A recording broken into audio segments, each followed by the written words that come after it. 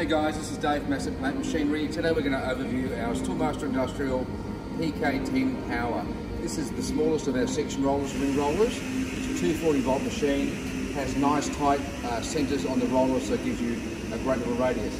Uh, the beauty about this uh, PK10 Power, it's industrial built, used for B2B industry. Uh, it works both in a vertical and a horizontal plane so you can actually tilt the head back if you're doing sort of larger diameters and bigger rings and you can also put uh, outrigger sort of rollers there to support those.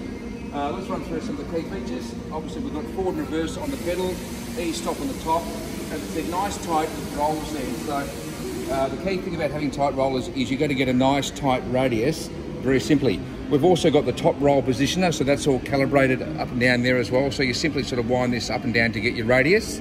Uh, over here we've got the E-stop, turn that off and turn it back on again. We've got the uh, isolator there, uh, also a storage cabinet, and also in there you've got your electrical as well, which all has um, standard sort of Schneider and Siemens electrics. Uh, let's sort of show you the, uh, the, the key feature of this one here. Now I've already unbolted these, these bolts here. So I've loosened it off so we can actually bring the head back.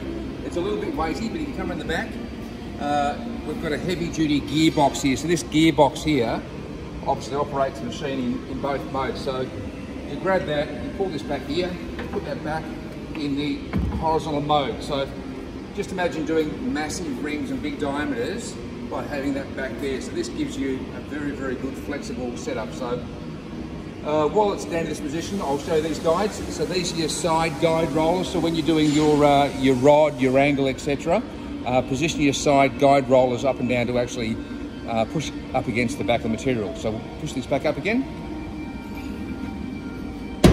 Okay, uh, over here, our PK10 comes with one set of uh, standard formers that are a split former. So if I just wind this off very quickly, and uh, I'll show, show you how this works. Basically, that's a split former. So that's actually key weight as well.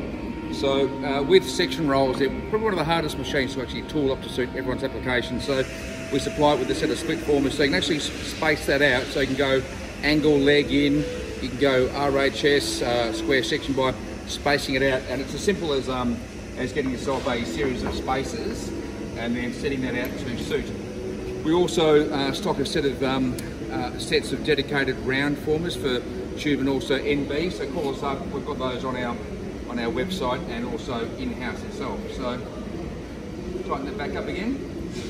Okay. So what I'll do uh, over here, so like as I said, forward reverse operation. Uh, simply nice and quiet. It's working now. Forward reverse, and then you position this top roll up and down, and I'll just get a little bit of bar shortly and show you. Uh, so as the top roll comes down, it gives you your, your curve and radius.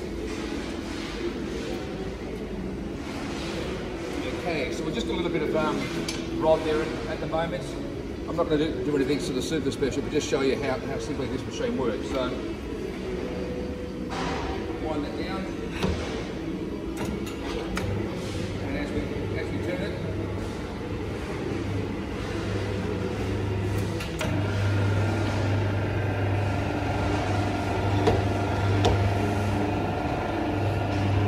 So if you stand back, can see it already sort of curving up and down.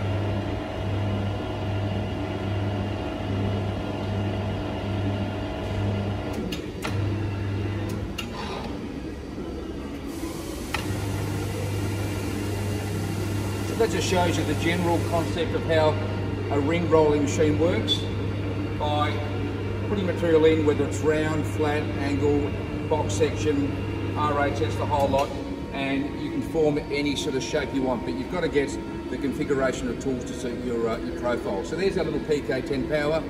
Jump onto assetplant.com.au for the full specification range of what it can do, and have a great day.